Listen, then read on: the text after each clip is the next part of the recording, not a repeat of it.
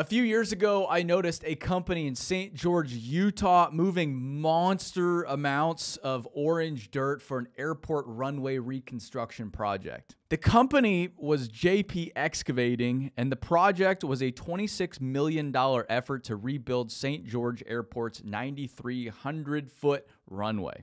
But why? Because of this stuff blue clay. The problem was blue clay caused the um, the runway to ripple. Blue clay is predominantly found in Utah's southern region. It's composed of smaller bentonite soils deposited by prehistoric rivers and lakes derived from volcanic ash. And that's what today's video is about. And I know, I know, it doesn't sound thrilling, but bear with me. The airport nicknamed SGU opened in 2011. But shortly after the brand new airport began operating, management noticed an issue swelling on the runway with some areas swelling as much as one foot. This is an issue anywhere, but a major issue with aircraft. Although precautions were taken when the runway was originally built, when water and heat was added, it quickly absorbed and expanded, resulting in movement. What, what they didn't realize was that as that water would come off, would actually go down and then the hot asphalt acted like a moisture sink and pulls moisture underneath the asphalt once it's underneath the asphalt, has no place to go. Back to the blue clay. This stuff is super expansive. Traditional soil allows water to drain through it, but clay's tiny flat particles make for a lot of water absorption. This causes swelling, which means the earth literally grows. As the water ran off the runway into the drainage ditches, it percolated below the runway, swelling the clay underneath and pushing it up in odd and potentially hazardous ways. And you can think of it like a sponge. When it's dry, it's small. When you add water, it gets bigger and bigger and bigger. JP Excavating then began a massive excavation effort in 2019 to remedy the issue. Runway construction crews are now digging 17 feet below the surface, taking out the bad soils and replacing them with the good. So as you can see, they've gone down 17 feet. There, the, the optimally moisturized clay that they'll use for the first five feet to act as a plug. And then over here, you can see they're bringing in native material that will actually come up another 12 feet and then once that is done, then they'll put in natural uh, material comes up the last foot, foot and a half, 18 inches. During a 129 day closure and tourism dropped, JP crews moved nearly two and a half million yards of material over excavating about 5,400 feet of the runway by 17 feet deep.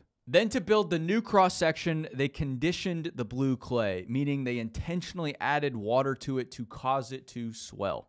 Using modern day GPS technology and specialized equipment for testing, the moisture content of the soils are measured throughout the entire project. The clay must be returned at an accurate 24% moisture level. Uh, hundreds of tests are taken each day to the point of there's about a, a material test taken about every six minutes on this project in a 24 hour duration. There is a lot of testing that occurs to make sure that the project is built to the specifications. Crews then quickly place this material at the bottom in a five foot lift to form a watertight barrier to block water from penetrating the clay further down. And then the second we put the clay on it, because we cannot have it dry out. If it dries out and cracks, then we have to start over again. And with this kind of temperatures, we cap it. We're literally capping it within two hours after we put it down, and then we move on to the next section. So it's kind of a being built in layers all the way through. And why explain all of this? Well, today we're back with JP Excavating at another large earthwork project adjacent to the St. George Airport where they're performing similar work. Although similar, the earth around here can change dramatically in only 100 yards, thanks to the Intermountain Fault System, which St. George squarely sits atop. So, with the fun backstory out of the way, let's get out to site. We're staying in Las Vegas right now for Trimble Dimensions, but we had a spare morning. So I called JP Excavating up here in St. George and asked if they had any earth moving for us to check out. And they said they did and we could come by. So we drove a few hours up from Vegas to St. George where it is very cold, it's just about freezing, to check out some earth moving by the airport. So let's get it.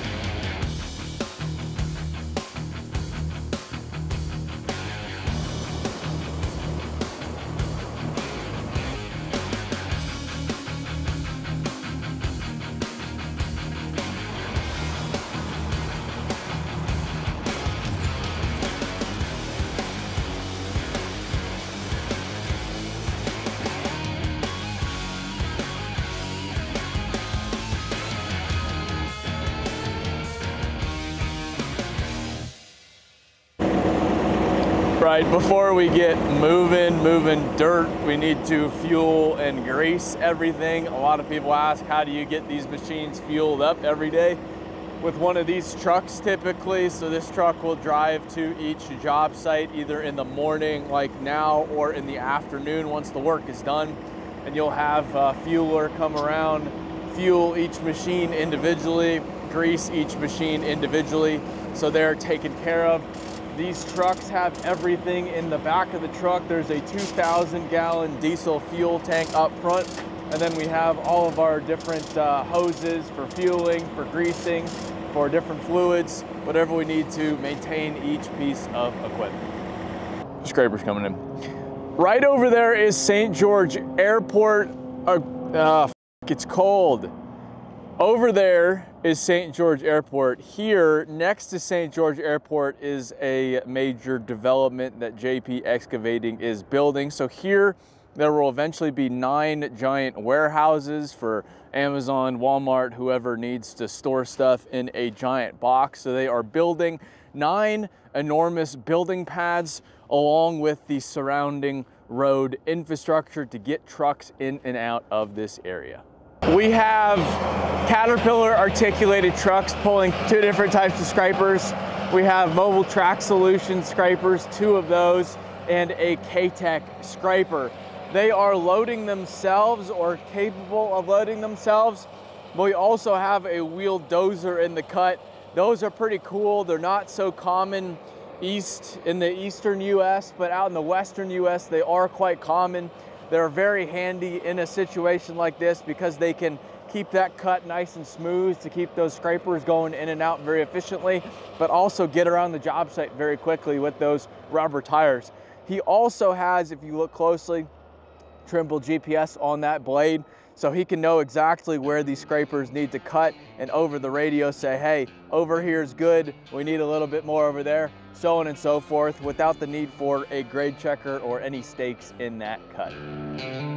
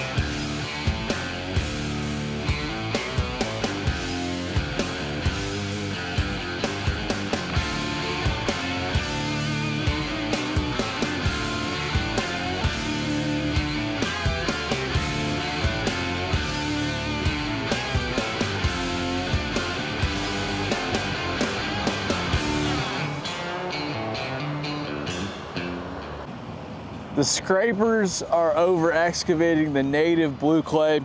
This is the processed blue clay right here. They call it marinated. To condition the volume of clay needed for this project, like the pile behind me, JP uses larger excavators with makeshift streams running to them to mix in the water. They first tried other traditional methods like tractors and discs, but the excavators have proven far more effective.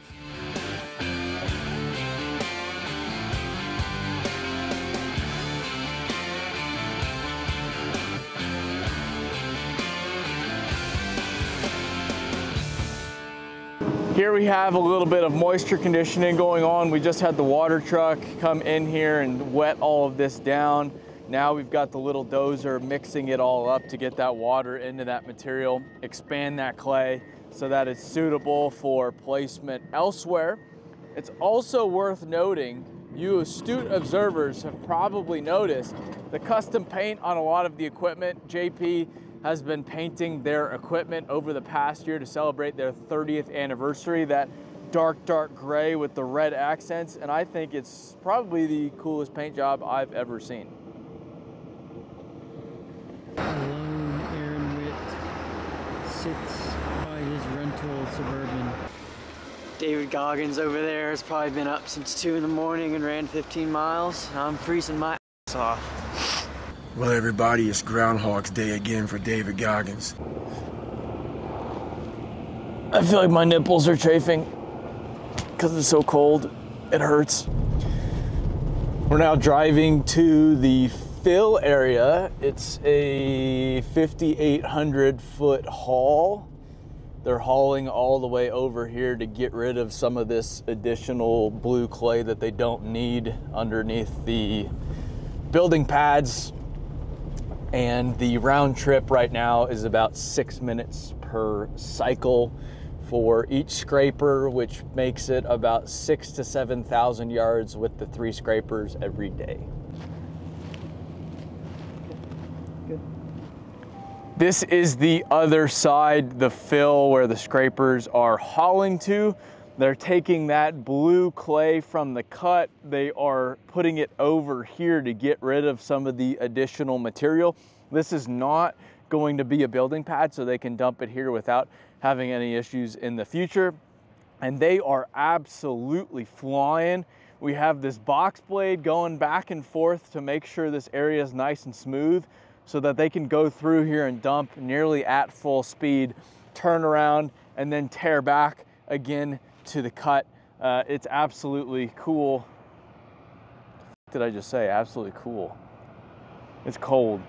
We also have a water cart here, um, mixing some material into this to help condition the material. We also have a water cart out here mixing water into the material to help with the conditioning. And we have a tractor and disc setup to mix that water and material together to get that expansion necessary to get. I can't talk today. I'm done. We're done.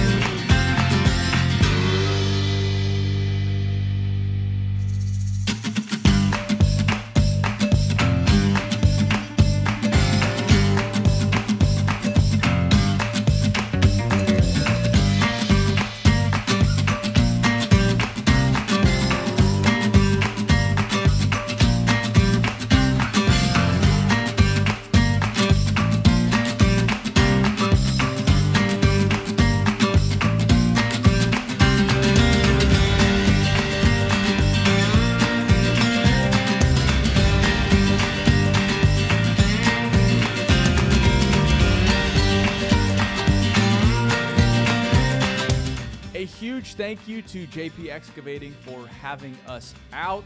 If you liked this video, please be sure to subscribe and you can support us by shopping stickers, hats, shirts, calendars at dirtworldstore.com. We'll see you on the next one. Stay dirty.